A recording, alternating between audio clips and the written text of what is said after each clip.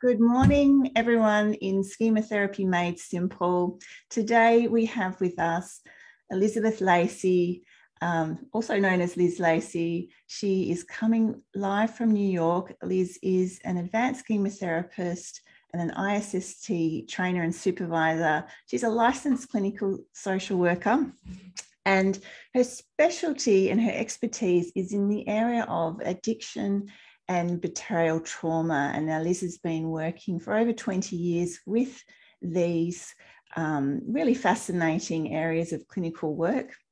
She has been a clinical supervisor for an addiction treatment team in New York City, and she presents internationally on these topics. So, this is a really exciting opportunity for us in schema therapy made simple to have someone here to talk to us about betrayal trauma. Welcome, Liz. Hi, everybody. It's so, so great to be here um, talking about something that uh, is near and dear to my heart, as many of you know. Um, and thank you, Nadene, for asking me to come on and share some thoughts and some mm-hmm. treatment mm-hmm. tips. So oh, you're here. very welcome. And just for everyone listening's benefit, Liz came into my world when I listened to a podcast um, about sexual addiction um, behaviors probably a couple of years ago now. And then I found out she was running um, an online course and I couldn't wait to be in it. And then I begged her to be my supervisor, and she's still supervising me now. So I'm a big fan of Liz's work. And I think, uh, you know, some people have a real gift of taking schema therapy and making it very warm and accessible not only to clients but to learning therapists as well and liz i think you are one of those people so um, oh thank you i'm sure everyone listening today will see exactly what i'm talking about but pressure. no pressure. no pressure. Okay. Yeah. Yeah. So um, how about if we begin today liz by explaining um, to our listeners and viewers today what betrayal trauma is? Sure. So, uh, betrayal trauma, uh, the term was introduced in the early 90s, um, uh, particularly in the sexual addiction treatment community, because there in the past with addictive disorders right we were very familiar with the terms enabling and that right with, with alcoholism and substance abuse that eh, people can have enablers around them.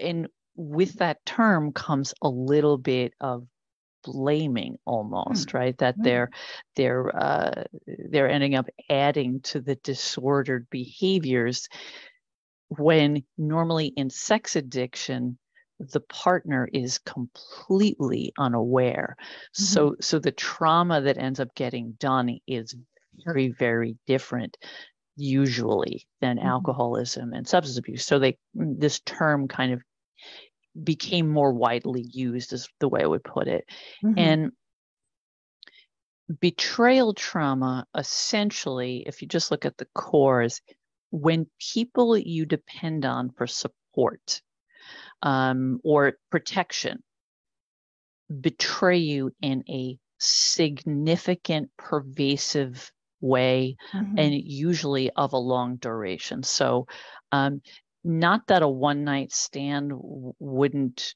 be extremely upsetting, but usually won't get post traumatic stress disorder symptoms mm-hmm. from that.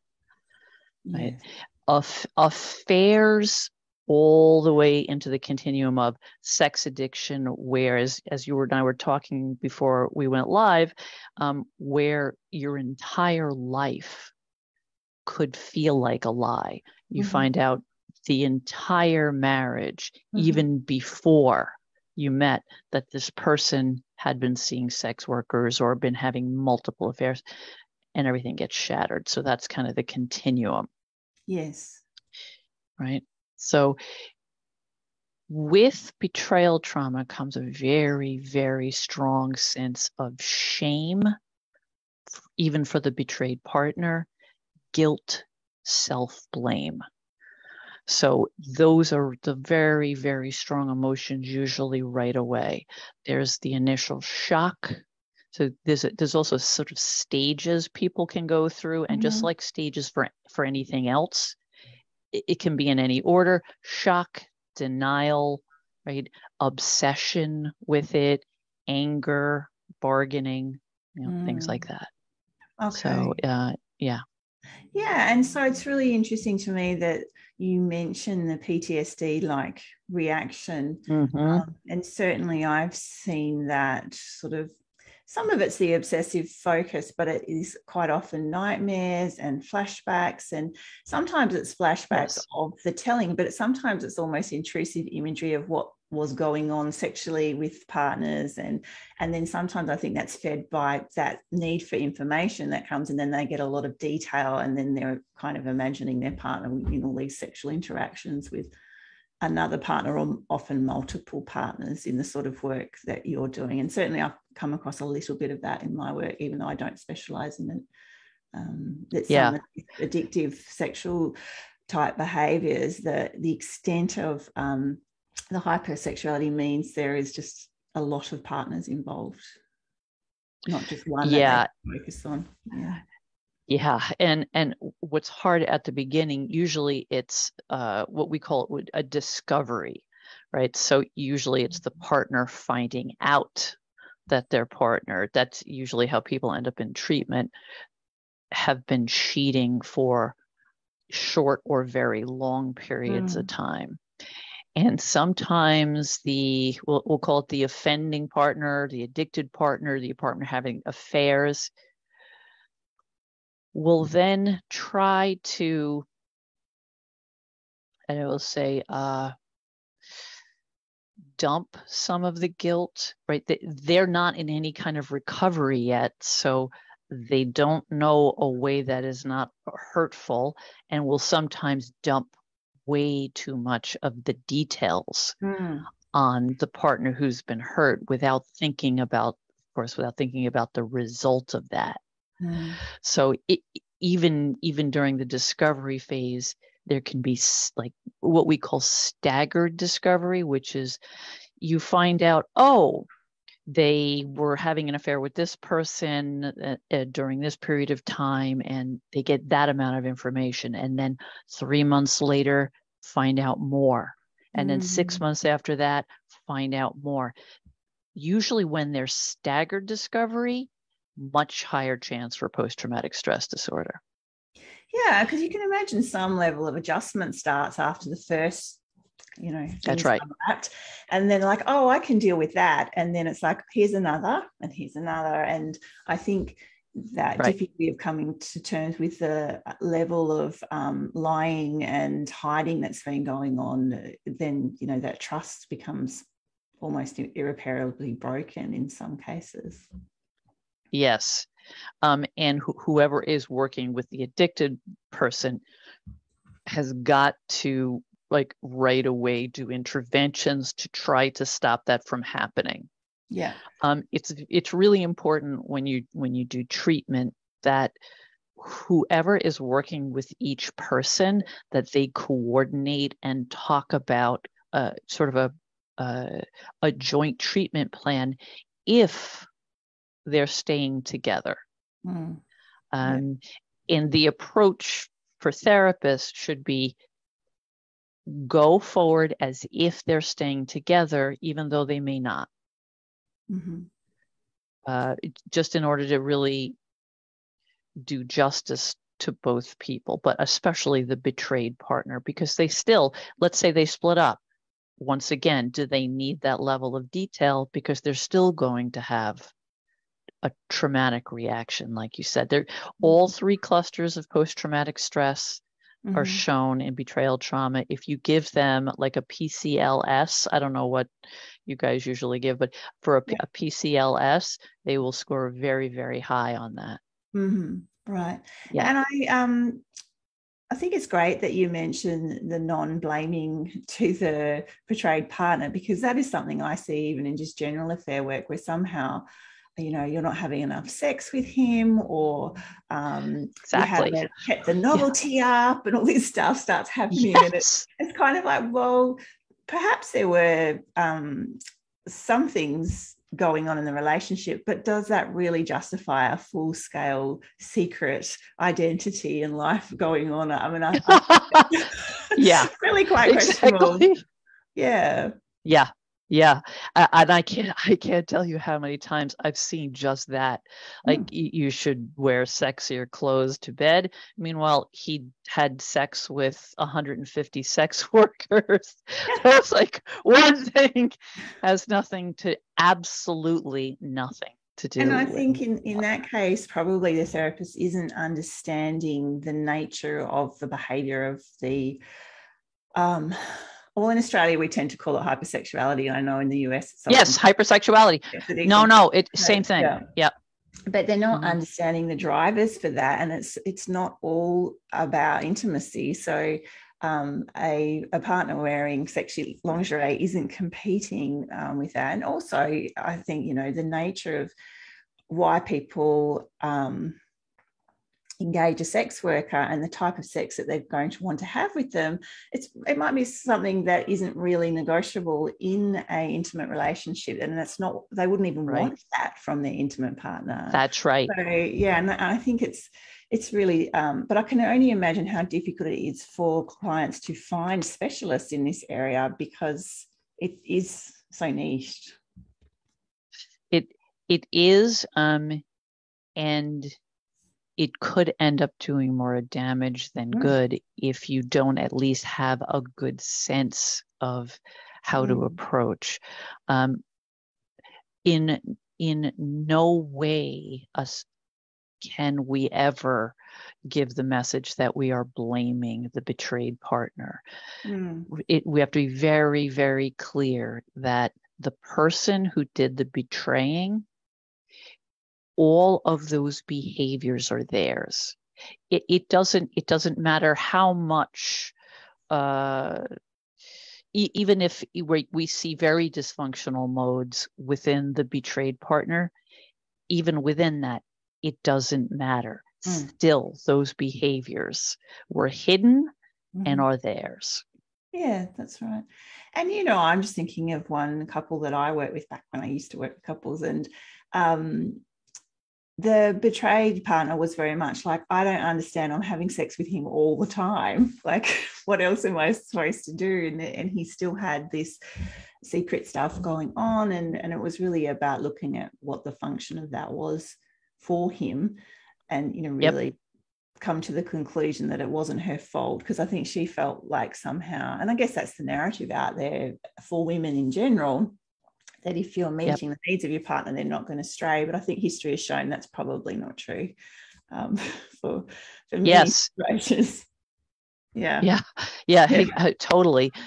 Absolutely. Um, and and we also we have to be careful when we're doing psychoeducation um, with the betrayed partner, even trying to see and understand why he i want to say he or she right or they mm. just to be clear this could be yeah. any combination of any mm. gender right um could be uh wait where was i going with that so um that right i lost my train of thought oh Sorry. sort of talking about the non-blaming and um yes yes the the non-blaming and right and so we don't want to hmm, i'm still losing my train of thought with this one. We'll come back sorry guys. Sorry about um, that. yeah. Because yeah, right because i wanted to get i wanted to get to right we don't right we don't want to ever blame um, and we want to be careful if we're identifying the modes, right? The modes, because we're definitely going to want to do this for the betrayed partner, because there are certain modes that will get triggered in mm-hmm. them that can make things much much worse for okay. them okay and in your yeah. experience what are those modes that um, then make recovery from this extremely painful so at the beginning um, well, I'll talk about treatment in a second. The two, I would say, the two modes that are the most common are what I would call sort of a detective mode. They're both overcompensation modes, but this detective mode to try to keep themselves safe. So to be checking everything where they're going, when they're in the bathroom, um, what they're doing online, where their phone is, mm-hmm. where's their car parked, everything. Right. So there's a detective mode. There's um, what I would call like a, a critical over controller mode mm-hmm. that can happen where because of the anger, right, the hyper arousal that's involved, like uh, a lot of venting what will look like cruelty right. to the betraying you know the betraying partner. Um, and then third which is less common and actually i find more difficult to work with is mm-hmm. going into a detached protector mode of some sort. Okay. Like well you know all men they you know what they look at porn it's not that big a deal you know i can you know I, i'm I have too many other things on my plate. I really don't want to think about this now. This is not my problem. This is his problem, which it's true. Mm. But but but they're going into a detached mode. So all of that pain and horror is going underground. Mm. Um, and they're getting further and further away from any kind of intimacy for themselves too um, and they're staying in a situation which is is is really unhealthy. Mm-hmm. So um, their needs won't be met there. So I would say those are the three that are the most common. Right. And certainly, I think I've seen all of them with um, yeah betrayed partners. And it's interesting yep. that you find the overcompensating mode's easier than the, the detachment. But I guess it's because there's very little emotion and energy in those, so that it can be quite hard to uh, hook into things. But hmm. they, and plus, plus the the detach mode, they don't stay in treatment. Yeah. um, yeah. They'll avoid they avoid treatment because it brings up the feelings. For sure. So lots of cancellation. So it's it's also it's hard to help. That's why I find it more challenging. Absolutely. Um, and you can see how protective it is for them and and um, sometimes I wonder if there's a delayed reaction then. So they've used that detached protector mode, um, but then a year later, because the mode's only going to hold up for so long, yes. generally. Yeah. That's right. Generally, what you'll see is it'll last like that for six, sometimes six months, and mm-hmm. then something will happen where that will say the that that that inner house of cards falls. Something and they'll get triggered mm-hmm. and and then it'll all come up. And in your experience is that um, mode useful for people if they want to stay in the relationship because there's perhaps children or or is this still present in people who leave I'd say it's most common in people who stay. It is, it really, I think, is about just maintaining the life that they have, mm. particularly if they don't feel like it would be very easy to leave.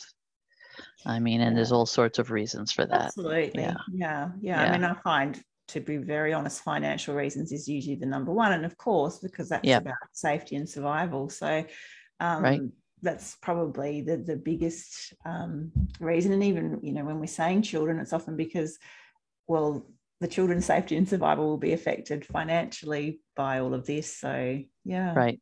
Yeah. That's right. That's right. Is there anything else yeah. that you think is really important um, for those who are joining us either live or in the recording to know about betrayal trauma? Um, I I don't think so. I, I think that, you know, really the main thing is to to avoid those pitfalls that it's very easy to get into. It also to try to make sure that at the beginning, and when I say the beginning, I'm going to say like the first eight weeks of treatment, mm-hmm. that we're not too quick to put limits on the anger there's go it's going to feel like we want to because the anger is often very intense but they've just been hit by a bus usually when this happens.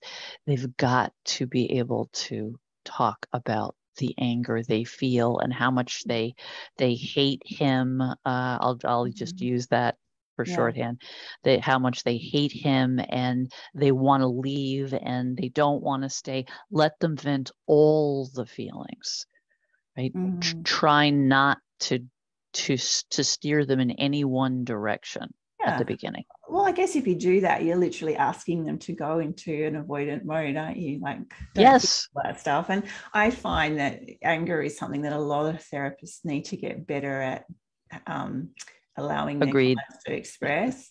Yeah, so you yeah. can you could even put someone not not totally your fault, but you can almost encourage depression. I think because they're going to have to freeze to not feel. Yeah, and, uh, yeah. So the anger right. is, is good, and I see it as um, it's really defending them, isn't it? And and it's really coming yeah. into contact with the um, what do I call it, their boundary crossing that they've experienced. And so if they can't stand up for themselves that way, and we go, oh, you know, uh, maybe don't use those words in our session or trying to encourage some forgiveness too early if you're into that exactly.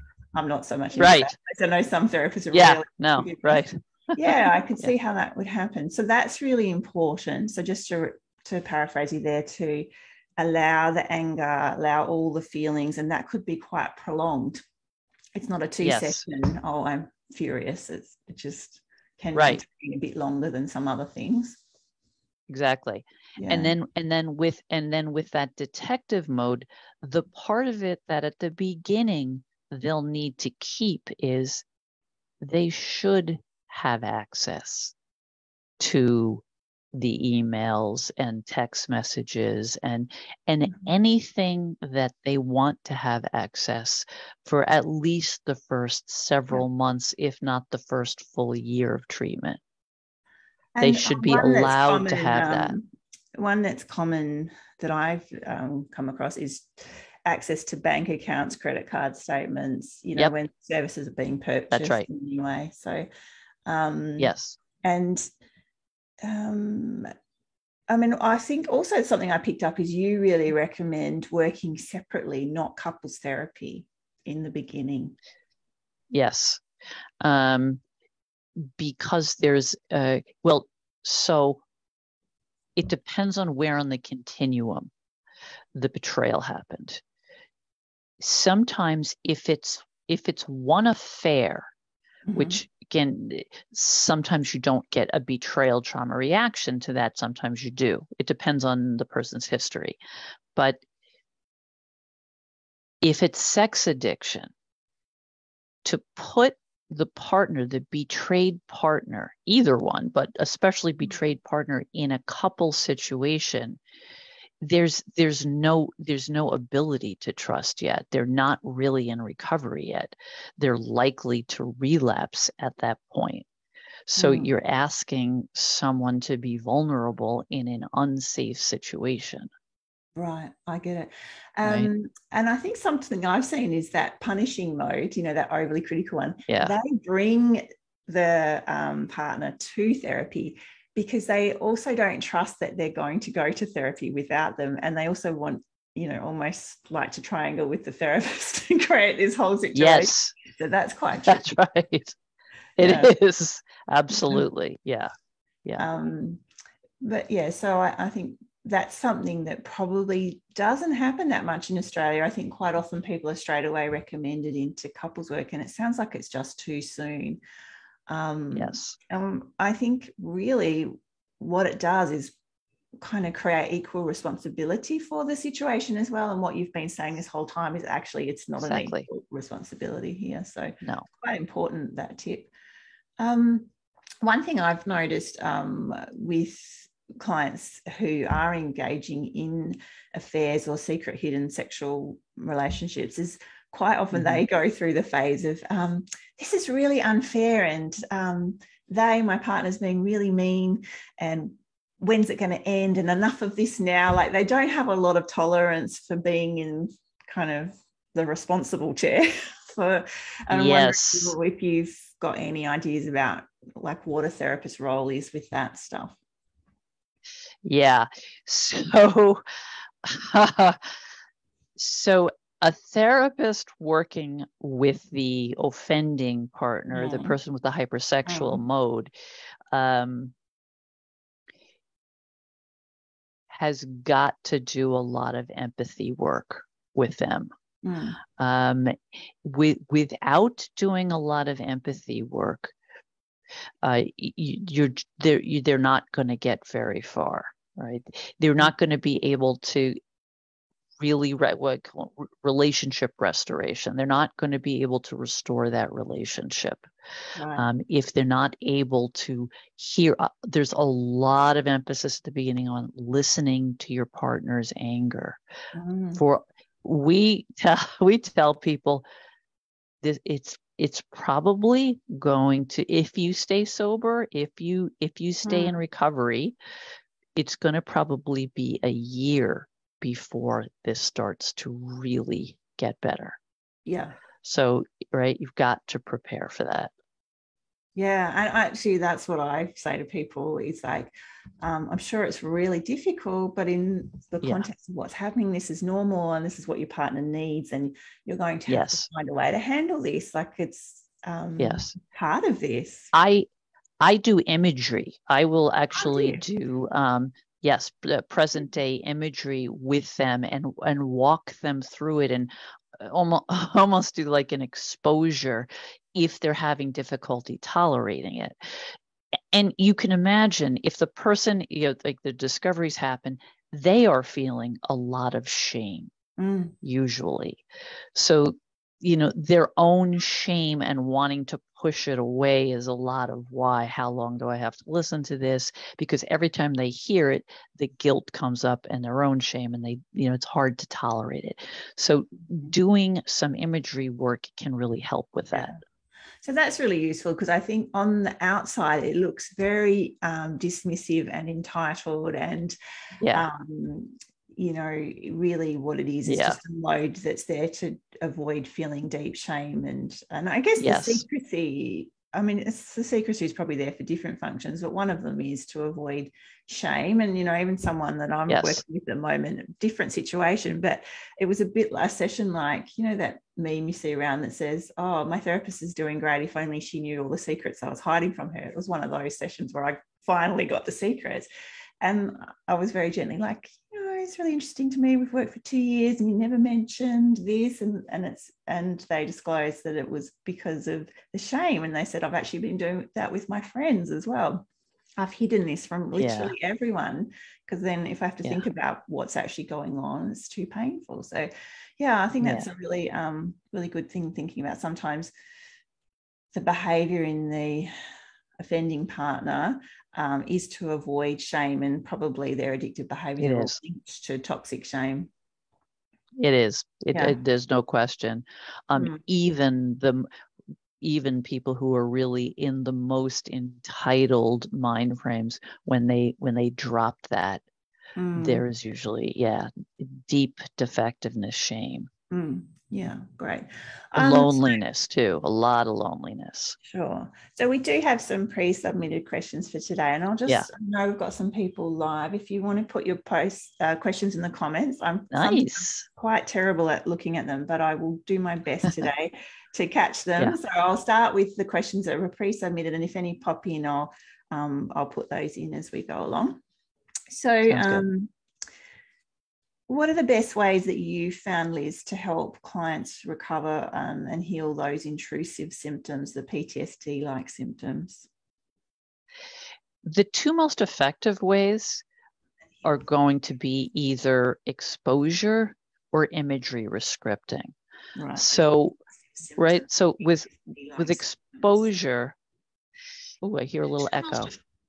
Yeah, sorry, I'm just trying to get the comments and it's turning on the sound. That's me. Oh, the sound. yeah. okay. Sorry. Right. Anyway. That's sorry, okay. everyone. I just heard a little. I heard myself speaking there for a second.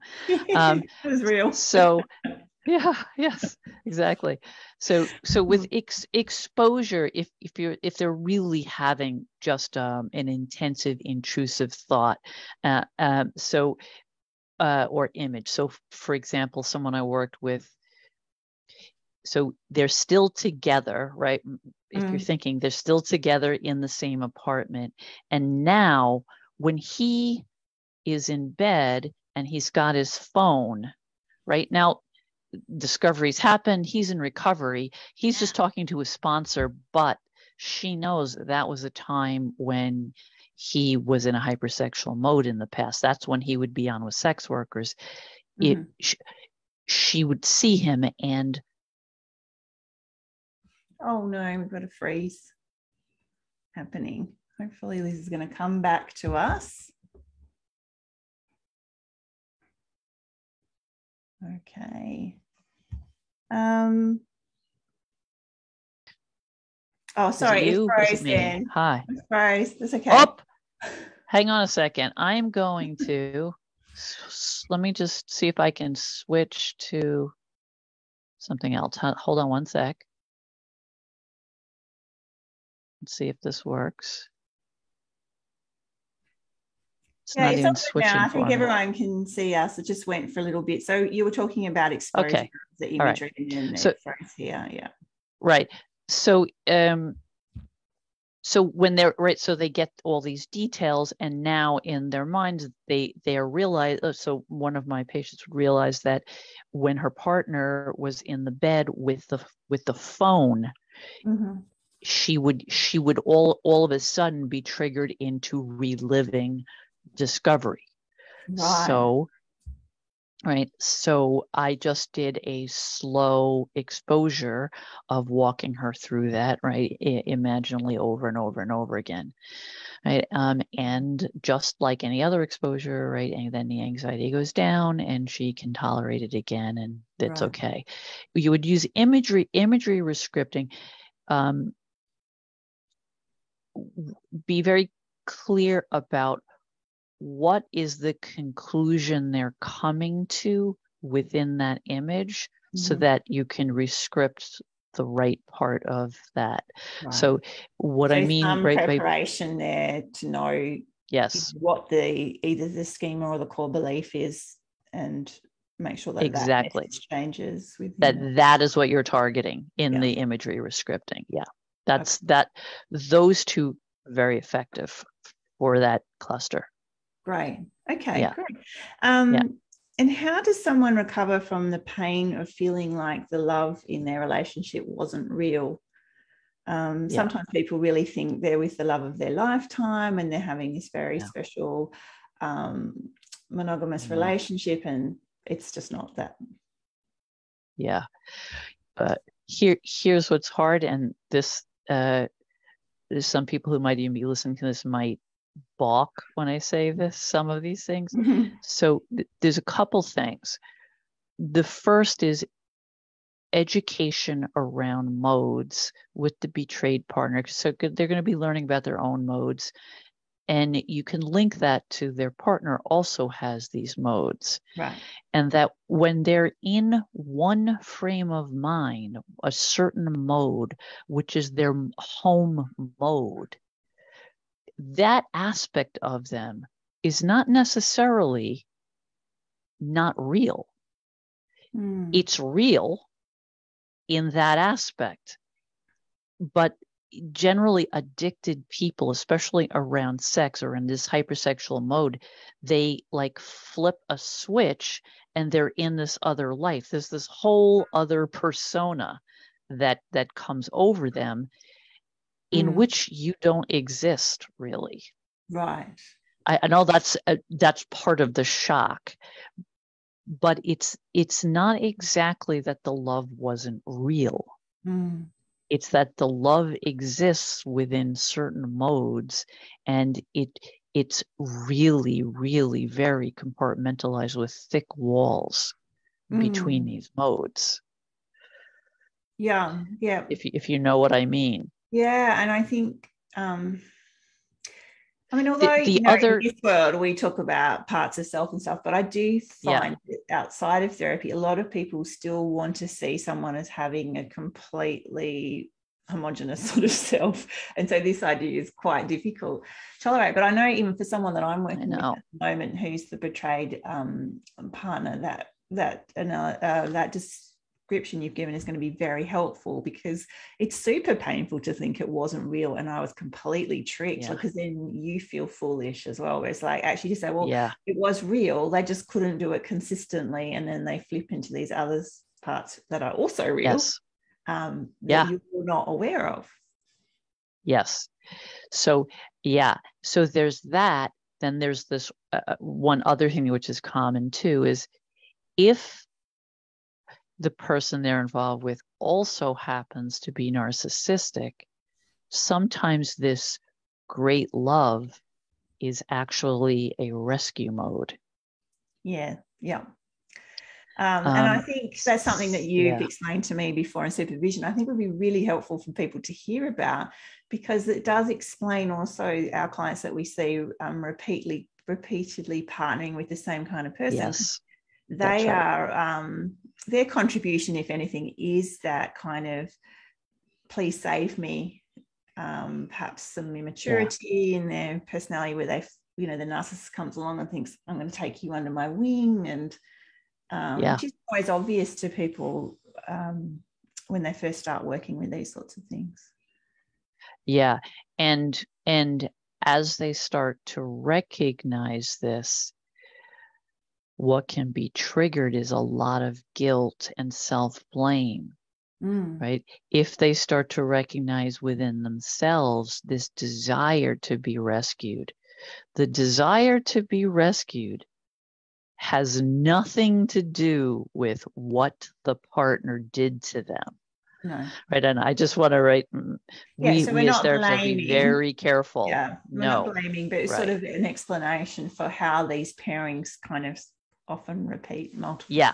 times. Mm. A- absolutely. So that so this right this rescue mode is this overcompensation mode. I think I probably said it to you this way. It's uh for those old enough or aware enough to remember Mighty Mouse, that cartoon, there was a cartoon Mighty Mouse. That is going back. uh, that is going way, it's, it's before my time, but I just remember the theme song was Here I Am to Save the Day. Right. right.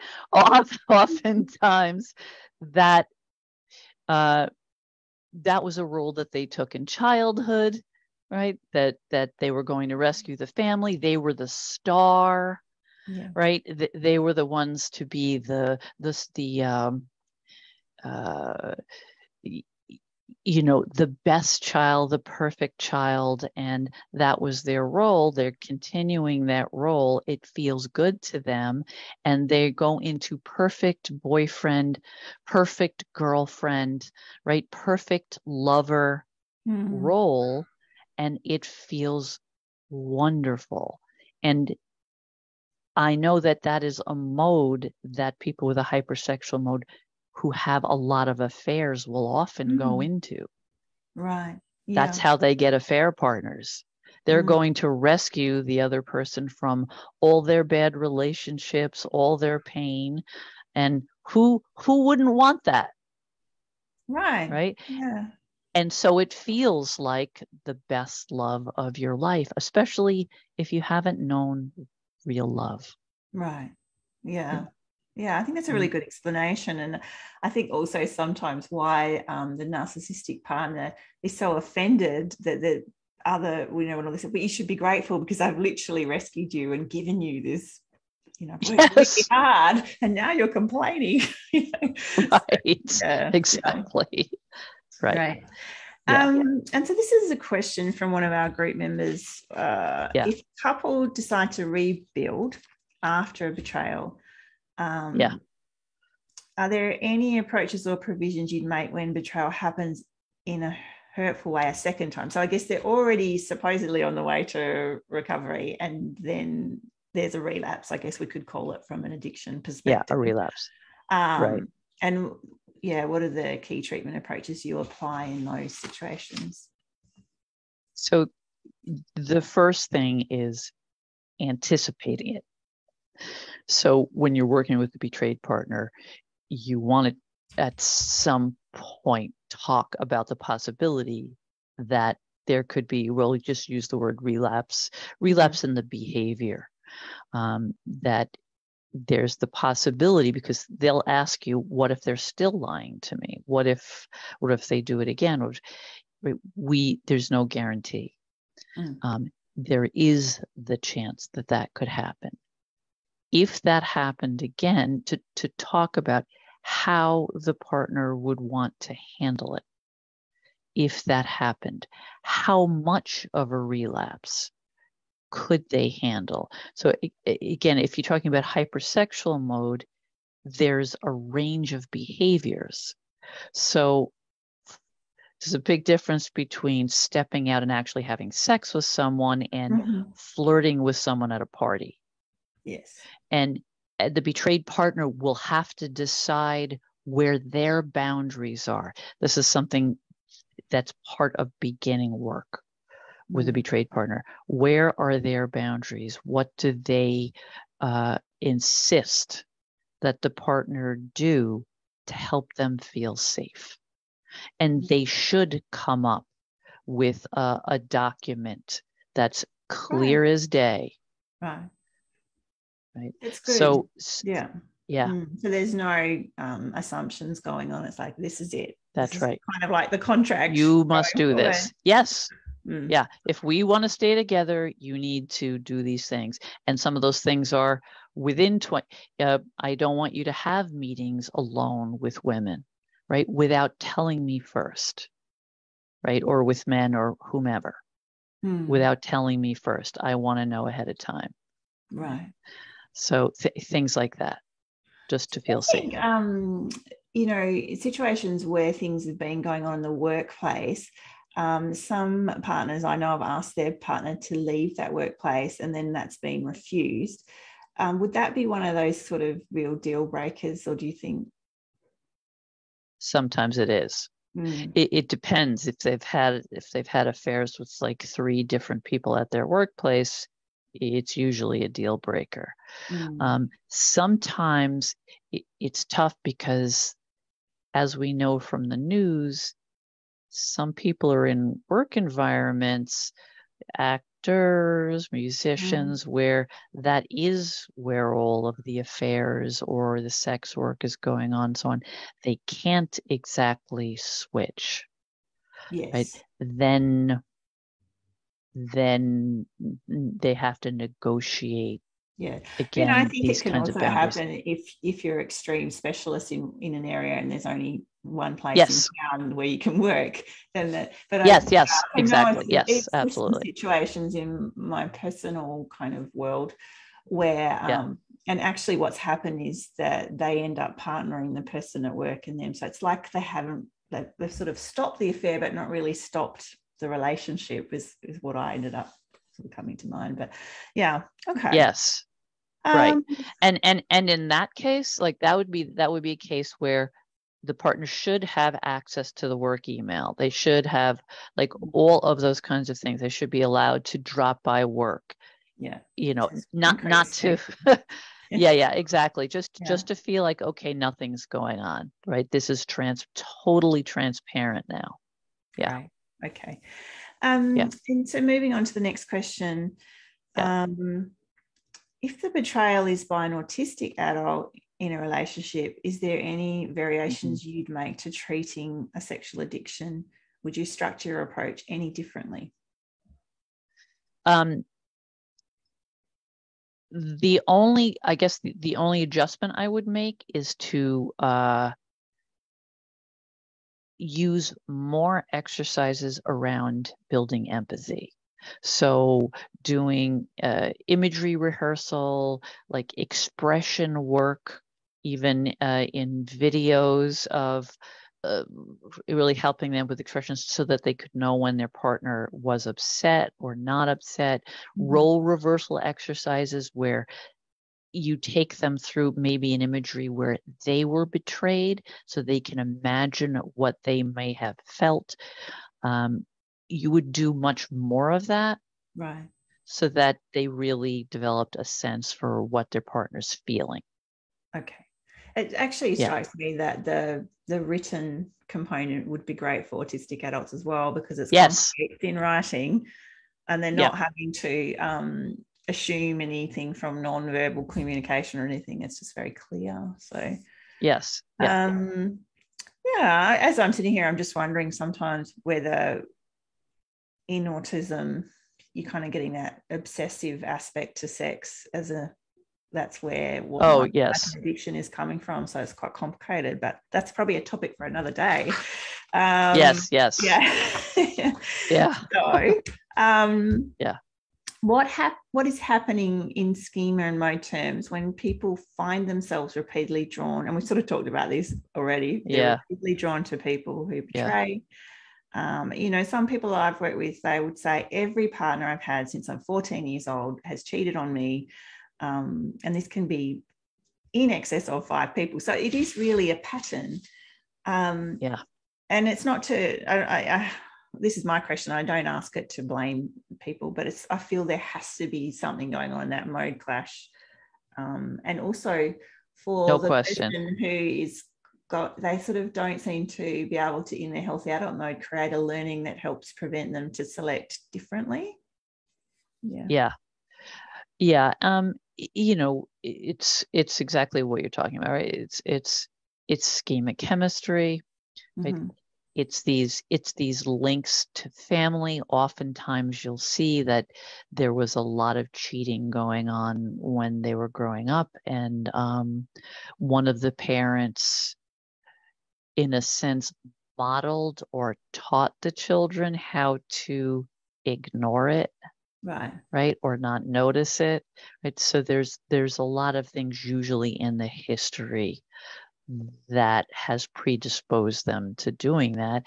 And and i think then looking at each relationship and and was there was there this feeling of i'm thinking of one patient where um, she just remembers always having this feeling like she wanted she just didn't want to work so hard. She she wanted someone who would take care of her she was never taken care of before. So eh, that was part of it and then that's what they were offering and she would overlook other things over and over and over again right? So we, we just we So just want to unpack um, each relationship. would you say that overlooking is the mode? Like the mode in action is like oh you know nothing going on there right. Right it's it's a right. Actually, well, yeah, one person I work with quite elderly, and and they talked about a lot of things that they ignored, like smell perfumes on clothing, lipstick marks, and it's kind of like yeah. um just and I think that was the times as well, feeling like they couldn't leave, but it led to this whole just really, oh, there's got to be some really good explanation for that until they're, you know, actually I think they were in their 80s and suddenly um, they went on, they kind of partnered with someone in a different country, you know, and left them. oh wow And Wow. there's a- yeah, there's that sense of betrayal around. Um, I ignored all that stuff for years, and I stayed loyal to you. And Yeah. now, in our later years, you've literally Yeah. abandoned me. And then all the secrets Right. kind of came out. So it can be quite, right well, it's a little bit conscious as well, but sort of like an unwritten deal that's being made between partners. Mm. There is right and so right and so right that of that avoidance comes up in order to maintain the connection and to get the thing the other things within the relationship that they want Mm. um, but the, the of course there's that horrible price that they're paying Yeah, yeah, and I think um, that was actually a real case of betrayal trauma. I'm just thinking that in terms of what I was working with there, and um, and just that you know for it to happen so late in life was very very challenging. Yeah, yeah. oh yeah that's a heartbreak to to to do Mm. have discovery happen when you're in your 80s oh my Mm. god But also, yeah, and I think the the breaking point was the publicness of it this time. So she also couldn't be wrapped up in Mm. any way, and so then it was so deeply shaming, not only in the home but outside of the home. Yeah, yeah yeah. Yeah. Oh, okay. So, um, the last question on this, can't see any coming up here. Try not to turn the sound on again. Um, what is, oh, okay. What is happening um, when one partner is seeking authentic companionate love and the other is not, but kind of is pretending? I know you've talked about it. I'm thinking maybe now it isn't actually pretending, but it's a mode that does that and then there's a mode that does the other stuff. But anyway, exactly. Just to review that before we finish up. Yeah, I, th- I think that that's exactly right. It's because it's it's not pretending; it's all they know. Mm. Um, it's, it's so with people with these um, hypersexual modes, you'll find once they're in treatment, they don't it's it's actually quite sad. They don't even really know how to make a friendship. They don't they don't know how to have real intimacy. They mm. they want it but they really have no idea what it's like. It's a foreign country. So it's not exactly pretending mm. right it's this seems like this is to me this is what love is Right. Um, and the other person, right, is seeking something more authentic and deeper and closer. Mm. So yes. they're presenting what they think love is. Mm. And in your experience, when you've, I know you work very long term with some of your people with hypersexuality, yeah. can they yeah. move to a point where they can form authentic love and really yes. experience that? Mm. Yeah, I I think it's one of the more, more satisfying parts of the work is to watch that happen. Mm. Um, I have someone now I've been working with about 10 months and he's he was so shut down and detached.